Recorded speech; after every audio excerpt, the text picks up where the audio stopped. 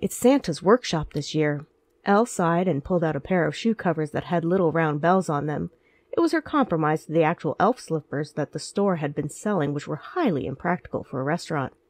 You're kidding me, Noah said flatly as he looked at the costumes. Elves? This is what the store had. Santa and Mrs. Claus are sold out. Elle smiled hopefully. We'll all make cute elves. The customers will love it. I'm not wearing that, Noah said. Nowhere, when I was hired, did you stipulate that we would have to wear costumes. It's Christmas. The entire block is participating, and we are as well because it's good for business, Elle insisted. She grabbed a complete costume for herself. I'm going to get changed, and you'll see that it's not so bad. You will look cute as an elf. I will look like an overgrown idiot, Noah said darkly.